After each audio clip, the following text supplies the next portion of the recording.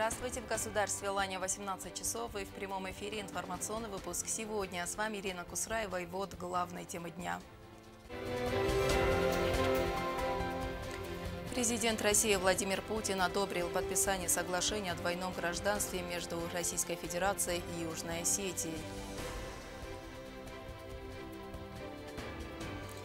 Призыв Запада к России. Сразу несколько стран потребовали отозвать признание независимости Южной Осетии Абхазии и вывести войска.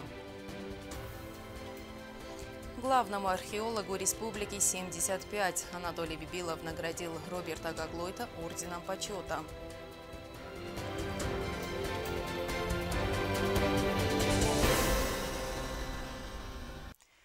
Президент Российской Федерации Владимир Путин одобрил проект соглашения с Южной Осетией о двойном гражданстве и об упрощенной процедуре получения гражданства России. В тексте документа говорится, что Россия предоставляет гражданам Южной Осетии на момент признания республики, достигшим совершеннолетия, право на получение российского гражданства в упрощенном порядке. Это дает нам дополнительные социальные гарантии и решение ряда серьезных проблем, сказал Анатолий Бибилов. По словам президента, соглашение во многом облегчит жизнь гражданам Южной Осетии. Для населения Южной Осетии это серьезное решение проблемы приобретения гражданства Российской Федерации. Теперь граждане Южной Осетии смогут получить гражданство Российской Федерации в упрощенном порядке, что связано и с обеспечением социальной защиты, и с возможностями получения российских пенсий. Этот вопрос с Владимиром Владимировичем обсуждали в 2018 году во время нашей встречи. Работа шла очень плотно, необходимо было выработать э, такой документ, такое соглашение, которое бы не противоречило международным соглашениям и соответствовало бы все требованиям международного права. Самое главное э, – получение по упрощенной системе, то есть фактически гражданам Южной Осетии, которые хотят приобрести э, гражданство Российской Федерации, э, не будет необходимости получать вид на жительство, там, ждать 5 лет и так далее, и так далее. То есть э, обращение и рассмотрение гражданина Республики Южная Осетия на получение гражданства Российской Федерации, оно будет делаться быстрее, чем это делается, скажем так, обычным путем. Более того, согласно этому соглашению, лица с двойным гражданством смогут пользоваться правами на социальное обеспечение, образование, медицинское обслуживание. Любая сторона имеет право предоставлять таким лицам права и льготы, даже если они проживают на территории другой страны. Те социальные гарантии, которые есть в Российской Федерации, их нет у граждан Республики Южная Осетия. Соответственно, граждане, принявшие гражданства Российской Федерации будут пользоваться теми же социальными гарантиями, которые есть у граждан Российской Федерации, в том числе и материнским капиталом, э, и детскими пособиями, и э, пособиями по инвалидности, то есть э, весь спектр тех социальных, социальной защиты человека, который на сегодняшний день действует в Российской Федерации. Это очень важно. Лица, имеющие двойное гражданство, будут проходить военную службу там, где проживают постоянно на момент призыва. Более того, лица, прошедшие военную службу в одну из сторон соглашения, освобождаются от еще одного призыва в другой. По словам Анатолия Бибилова, одобрение соглашения – это еще один шаг, который способствует интеграции Южной Осетии в Российскую Федерацию. В целом, конечно же, возможности для граждан э, Южной Осетии – их будет гораздо больше. И в, при пересечении границы, где бы это ни было, не только с Российской Федерацией, но и с, другом, и с другими государствами, как граждан Российской Федерации. То есть э, огромные возможности открываются перед э, нашими гражданами, которые есть у одних и нет у других.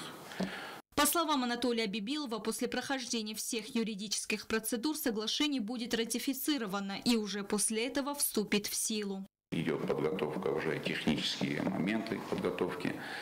И э, фактически это уже как бы э, почти финиш. Не финиш, это после подписания соглашения, но уже это финиш. Раз президент подписал, то это можно считать финишем, а остальное все технические моменты, которые мы, я думаю, что в короткие сроки урегулируем. Стелла Бязарова, Алим Бетеев, Оксана Татаева. Информационный выпуск сегодня.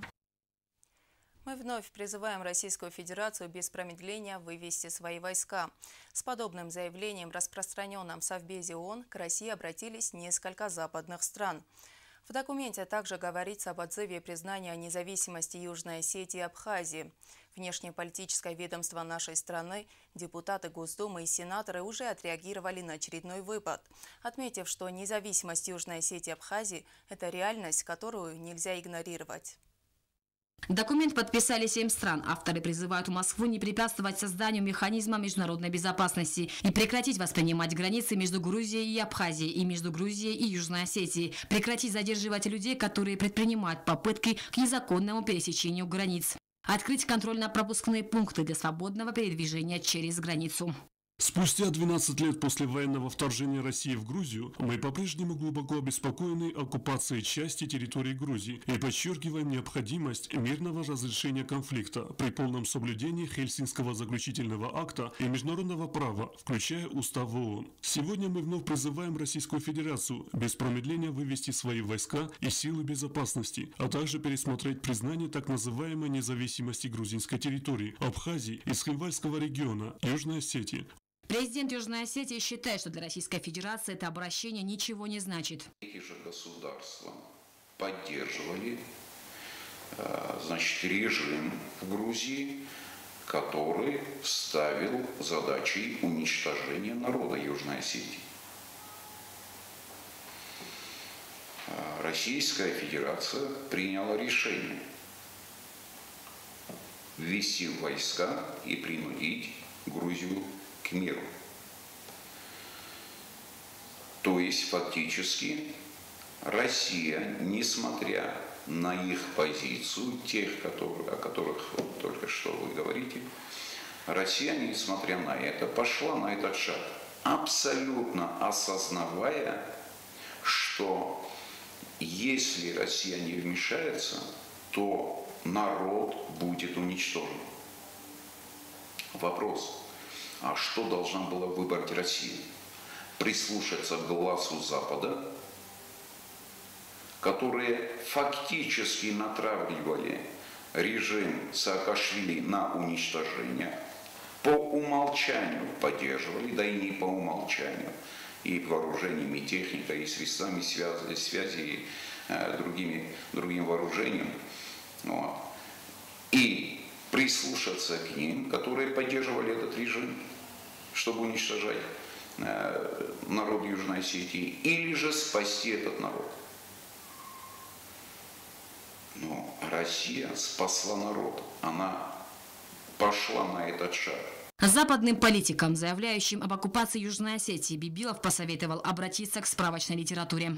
Уже есть э, значит, комментарий на этот счет, где четко говорится, что Россия взяла на себя обязательства, Россия решила, как ему действовать, и равно также будет действовать, как это позволяет для интересов Российской Федерации самой, а в данном случае уже относительно Южной Осетии, так как определяют договора международные между Российской Федерацией и Южной Осетией, где четко обозначено, что в случае нападения на одну из сторон, другая сторона принимает как нападение на себя. Поэтому это более э, такой э, э ход э, для, ну, для руководства Грузии, что вот мы не забываем о вас, но сделать ничего не можем. Но вы знаете, мы с вами, на всякий случай. Э, это больше такой непонятный ход, нацелены на подтверждение вот этой фантомной идеи вывести там войска, там, освободить оккупационные территории, там, какая оккупация. Было бы хорошо, если бы те, которые сделали заявление, хотя бы где-нибудь прочитали, что такое оккупация. У нас нет оккупации. У нас есть государство, которое строится у нас нет внешнего какого-то управления, которое нам всеми тут управляют. У нас есть международные отношения со многими другими государствами. Конечно, стратегическим партнером в этих отношениях всегда есть, будет и остается Российская Федерация. Глава внешнеполитического ведомства Южной Осетии Дмитрий Медоев считает, что Россия никогда не отзовет независимость Южной Осетии и Абхазии. Это реальность, которую уже пора принять Западу. Для нас это не является новостью, потому что каждый год повторяется одно и то же. Э, наши недоброжелатели э, используют вот нашу трагедию, используют вот эту дату для того, чтобы извлечь оттуда какие-то свои политические дивиденды. Э, для нас ничего не означает это заявление и подобные заявления, которые мы слышим много-много-много раз. Э, потому что э, факт признания государственной независимости Южной Осетии со стороны России отзыву не подлежит. Это акт, который закрепил наши двусторонние отношения. Эти отношения развиваются. На сегодняшний день всем известно, что э, между Российской Федерацией и Республикой Южной Осетии уже сформирована мощнейшая правовая база двусторонних отношений. Это более ста межправительственных соглашений, которые охватывают все сферы, буквально все сферы жизнедеятельности нашей страны. Этот процесс будет продолжаться, и никакая сила не заставит э, отказаться нас от независимости и никакая сила не заставит э, Российскую Федерацию и другие страны, которые нас признали, отозвать свое признание. Вице-спикер Совета Федерации России Константин Косачев назвал заявление Запада призывом в никуда. Первое, что обращает на себя внимание, крайне узкий состав подписантов. Это значит, что под столь одиозной позицией не захотели подписаться очень многие союзники этих государств по НАТО и ЕС. Эти страны, которые на словах пытаются поддержать Грузию. Это, что называется, призыв никуда. Он не имеет никакой дополнительной добавленной стоимости. В призыве могла бы быть добавленная стоимость, если бы подписанты нашли в себе мужество обратиться к властям Грузии, покаяться за преступления, совершенные в августе 2000 2008 года в отношении югостинского народа и за многие другие преступления, которые Тбилиси совершал по отношению к Схинвалу и Сухуму, Заявление прокомментировали сенатор Алексей Пушков и первый зам председателя Комитета Госдумы по делам СНГ, евразийской интеграции и связям с отечественниками Константин Затулин. По мнению Пушкова, вместо подобных призывов Западу необходимо отказаться от признания Косово. Иначе это выглядит не как принцип, а как защита геополитического клиента в лице Грузии. Константин Затулин считает, что заявление не дороже той бумаги, на которой она написана. Ясно, что Россия никакого признания отзывать не будет. И с этой точки зрения эти заявления не дороже той бумаги, на которой эти заявления написаны. Сенатор от Крыма Сергей Цеков назвал страны, которые призывают отозвать признание Южной Осетии и Абхазии провокаторами, не желающих установления мира. Россия никогда не отзовет признание Южной Осетии и Абхазии. Эти западные страны – провокаторы, которые не желают установления мира в этом регионе. Ситуация разрешилась в 2008 году, когда в результате грубых ошибок руководства Грузии республики были вынуждены пойти по своему пути. Южная Осетия и Абхазия имеют полное право на государственность. Никогда мы не отзовем признание этих республик. С провозглашения независимости прошло 13 лет. За эти годы со стороны Грузии и ее западных боссов прозвучали десятки заявлений и обращений. И пока грузинские западные политиканы списывают разные бумажки, Южная Осетия наращивает интеграционные процессы с главным стратегическим партнером – Российской Федерацией. Зарина Кочева, Рауль Кочев, Заря Марсоева. Информационный выпуск сегодня. За большие личные заслуги в области исторических наук, многолетнюю плодотворную исследовательскую деятельность и в связи с 75-летием со дня рождения Анатолий Бибилов наградил директора научно-исследовательского института Роберта Гаглойта орденом почета. Анатолий Бибилов поздравил выдающегося югосинского археолога с юбилеем, отметив, что его научные труды и работы высоко ценят не только в Южной Осетии, но и за ее пределами.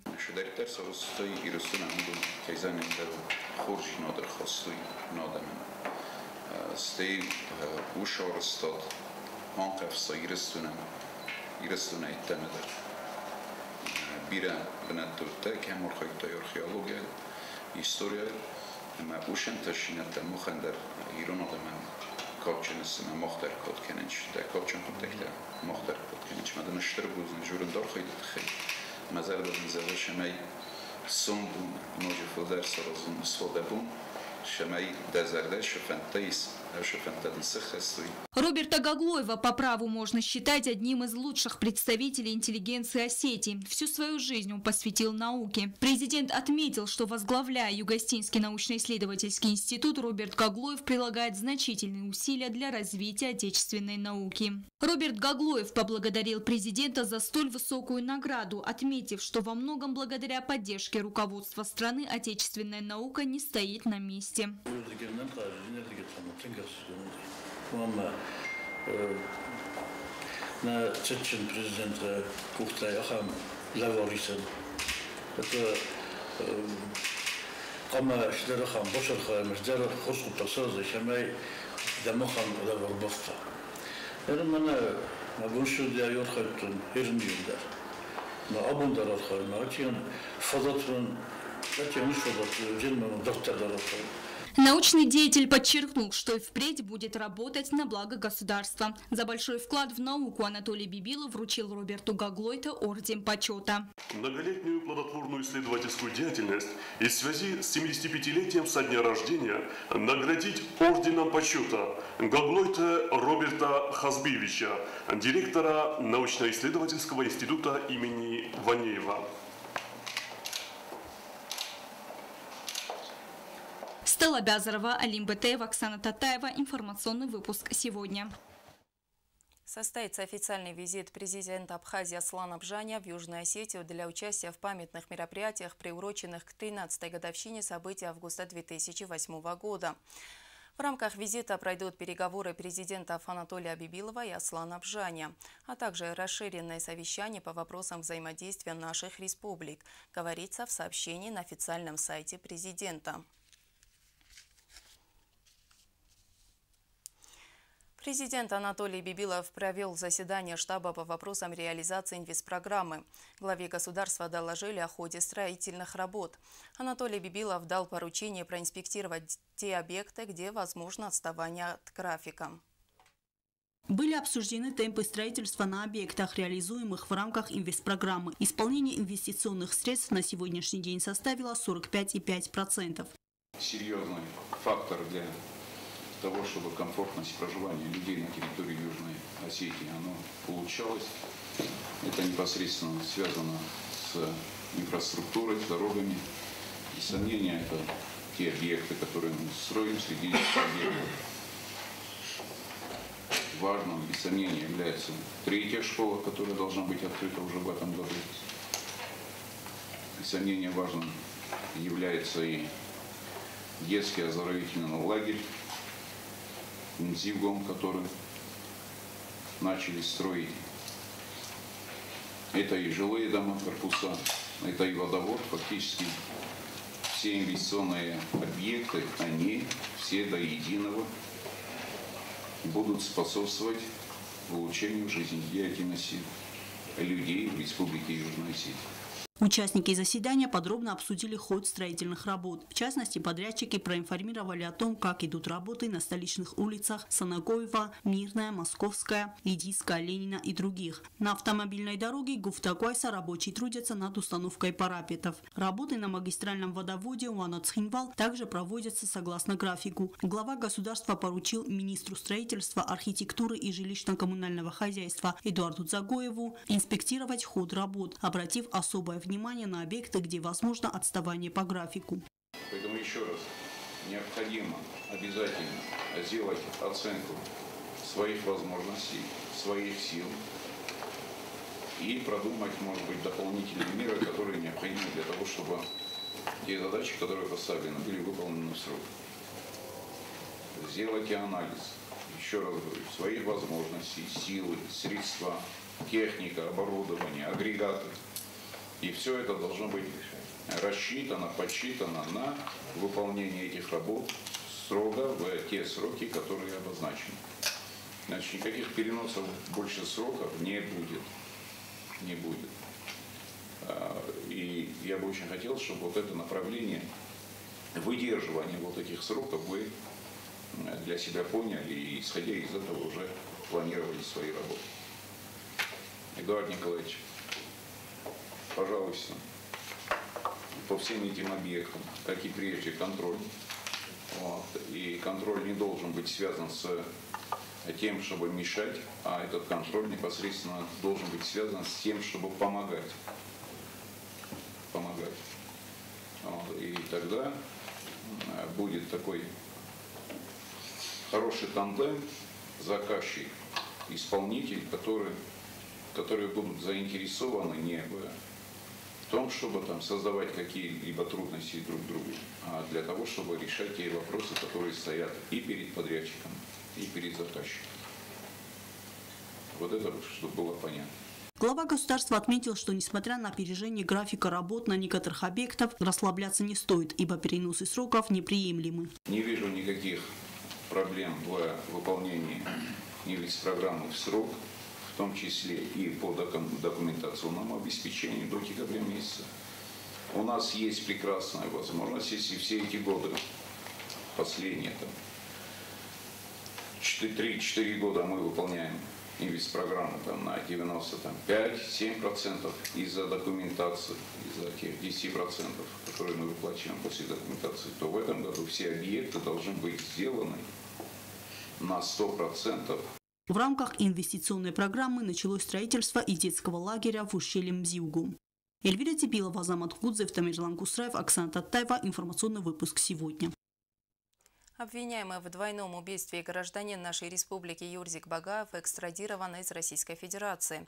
Преступление было совершено 20 лет назад. Все эти годы Багаев скрывался на территории России. В настоящее время в отношении обвиняемого возобновлено производство по уголовному делу. Расследование проводится прокуратурой Дзавского района.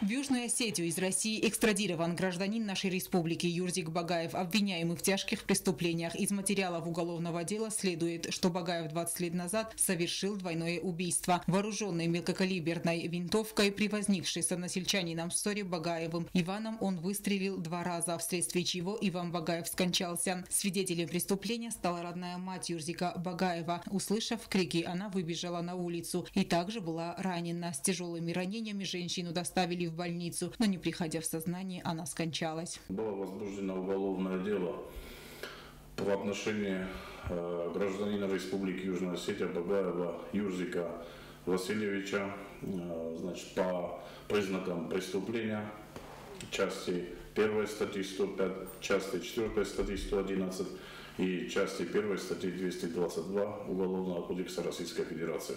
Он нанес ему прикладом данного оружия еще несколько, несколько ударов, в результате чего Багаев э, Иван Сикоевич скончался на месте. На крики к ним выбежала мать Багаева Юрзика Васильевича для того, чтобы предотвратить противоправные действия своего сына, на что Багаев Юрзик Васильевич э, также произвел несколько выстрелов, причинив ей тяжкий вред здоровья.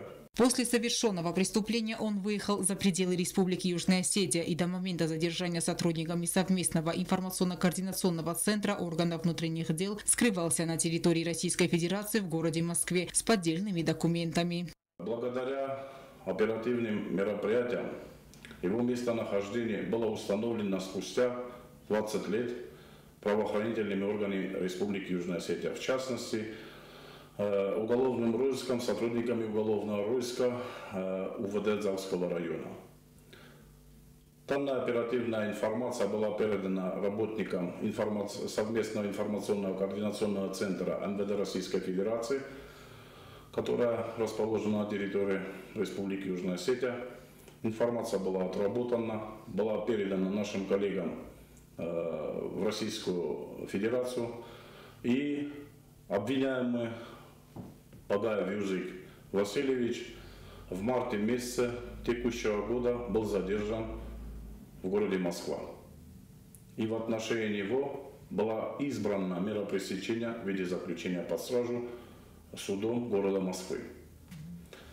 После чего, значит, э, Генеральная прокуратура Российской Федерации были э, значит, в рамках наших э, соглашений, которые, ну, в рамках наших соглашений, подписанных между Генеральной прокуратурой Российской Федерации и прокуратурой Республики Южная Осетия, значит, э, провели мероприятия по, по решению вопроса экстрадиции Багаева Юрзика Васильевича из Российской Федерации в э, Республику э, Южная Осетия. Юрзик Багаев экстрадирован и помещен в изолятор временного содержания МВД Республики Южная Осетия. В настоящее время прокуратурой Дзауского района проводятся необходимые следственные мероприятия для установления всех обстоятельств дела. После окончания всех следственных действий уголовное дело будет направлено в суд. Алена Утаева, Сармат Гузитаева, Оксана Татаева. Информационный выпуск сегодня. Новое назначение в МВД. Сегодня коллективу ГУВД представили нового руководителя.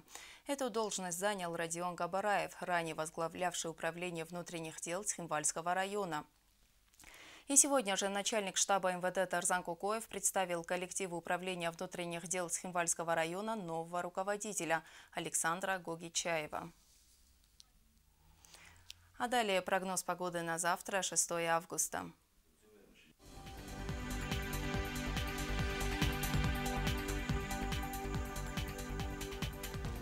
По всей республике ясная погода. В Знаурском районе днем плюс 33, ночью плюс 22. В Завском районе днем плюс 30, ночью плюс 17.